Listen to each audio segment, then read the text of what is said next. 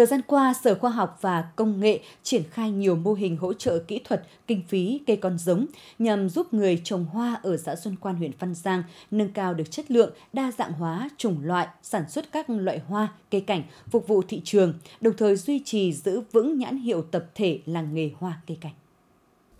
Đây là mô hình sản xuất hoa lan của công ty trách nhiệm hữu hạn Thủy Cam, xã Xuân Quan, huyện Văn Giang. Được sự hỗ trợ của Sở Khoa học và Công nghệ, sau 3 năm triển khai, đến nay trên 5.000 xá cây lan đều đang phát triển tốt, một số loại đã bắt đầu ra hoa. Trước thì chúng em cũng chỉ trồng làm theo kinh nghiệm thôi. Còn từ ngày được Sở Khoa học giúp đỡ thì chúng em là chăm sóc thì nó sẽ cho cây đẹp hơn, khỏe hơn và ra hoa đúng dịp ừ, mà Tết thì bán nó sẽ có lợi nhuận cao hơn. Vâng, những lúc mà khó khăn về những cây nó bị bệnh hay gì thì là sẽ có các anh kịp thời đến gọi là giúp đỡ.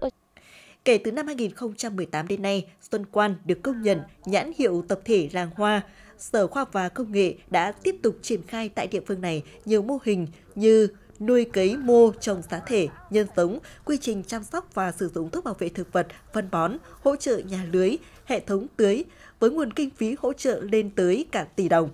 Các mô hình được hỗ trợ đều đã rất thành công và phát triển tốt, điển hình như mô hình lan đai châu, hoa trà, đỗ quyên bản địa, hoa hồng, hoa đồng tiền. Qua đó giúp cho người dân chủ động được quy trình kỹ thuật trồng chăm sóc các loại hoa, điều chỉnh được thời điểm nở hoa, chủ động được nguồn giống và đặc biệt là đa dạng chủng loại, nâng cao tính cạnh tranh, tiếp tục khẳng định nhãn hiệu trên thị trường. Sở Khoa học Công nghệ thì à, đã tạo điều kiện giúp cho địa phương Xuân Quan và làng hoa Xuân Quan rất nhiều trong cái việc mà à, giữ gìn và nâng cao cái chất lượng à, thương hiệu của hoa Xuân Quan. Đấy để tạo cho những cái sản phẩm hoa mới. Đấy, hướng dẫn về các cái khoa học kỹ thuật ứng dụng các khoa học kỹ thuật vào cái sản xuất hoa chất lượng cao tại Xuân Quan giúp cho thương hiệu hoa Xuân Quan cũng như là chất lượng hoa Xuân Quan nâng lên một tầm cao mới đáp ứng cái nhu cầu thị hiếu người tiêu dùng trong cái thời điểm hiện nay.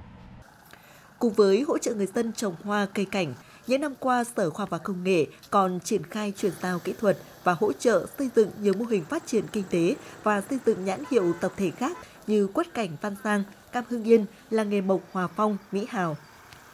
Trong thời gian tới thì à, chúng tôi sẽ tiếp tục à, duy trì và hỗ trợ cho phát triển của làng nghề. Không cứ gì hoa mà chúng ta sẽ làm tất cả các sản phẩm ờ, gọi là tiêu biểu của địa phương, không những là bảo hộ sở trí tuệ trong nước mà còn hướng tới xuất khẩu. Do đó thì chúng tôi sẽ tiếp tục hỗ trợ cho làng nghề cái nhãn hiệu ờ, tập thể sẽ được chứng nhận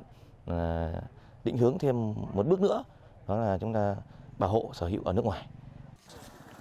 thực hiện chủ trương mỗi địa phương một sản phẩm. Các sản phẩm đều được xây dựng nhãn hiệu, thương hiệu riêng nhằm mở rộng thị trường, hướng tới vươn ra thị trường nước ngoài. Thì sự quan tâm, đầu tư từ phía cơ quan khoa học với người dân và địa phương là vô cùng cần thiết.